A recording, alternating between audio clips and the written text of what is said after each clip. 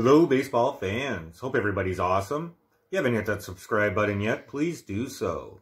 The best way you can support us as a new YouTube channel is by hitting subscribe, and your support is huge.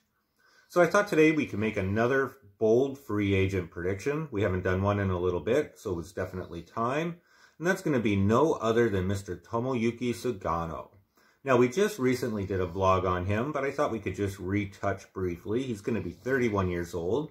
He's an international free agent coming over from Asia, and he's had some pretty good success. Last year, he was very dominant with an ERA of 2.19, and he's been consistent throughout his time there, except for one year where he had a hip and back issue, which raised his ERA just under 4.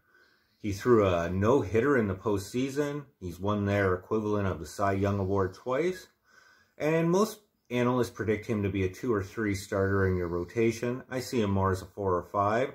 It's going to be how he adjusts to the MLB level. And talking about the MLB, which team's going to sign him? Well, I believe that's going to be no other than your San Francisco Giants. Now, what's going to lead me to this decision? Well, first, let's talk about the teams that won't be in on him. I did briefly say the Mets, but I think the Mets are just going to be a little bit more patient in whom they sign. They're not desperate to add to their rotation, and anybody they add is actually more of an insurance piece. And that's why they're not going to be as aggressive in getting this signing done. They're just going to wait for somebody, somebody a little bit better. The Yankees, they're going to be impatient as well, but they need some help with their rotation. And I've always said that their impatience and really tying up all their time in DJ LeMahieu and their assets as well is really going to be their Achilles heels next season in trying to get starters for the rotation behind Gerrit Cole. And again, their impatience is going to lead to Sugano signing elsewhere.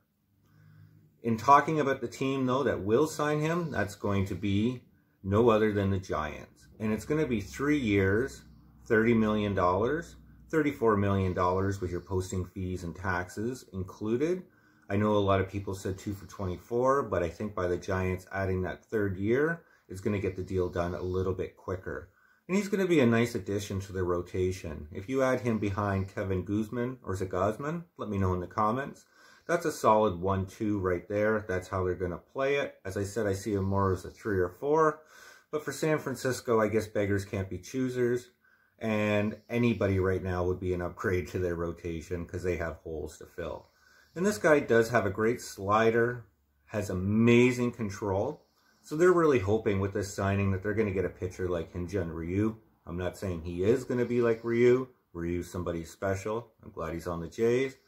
But they're really hoping that he doesn't take long to adjust to the MLB level and that he's a solid impact on their rotation and maybe somebody who's going to help them get into the postseason next season.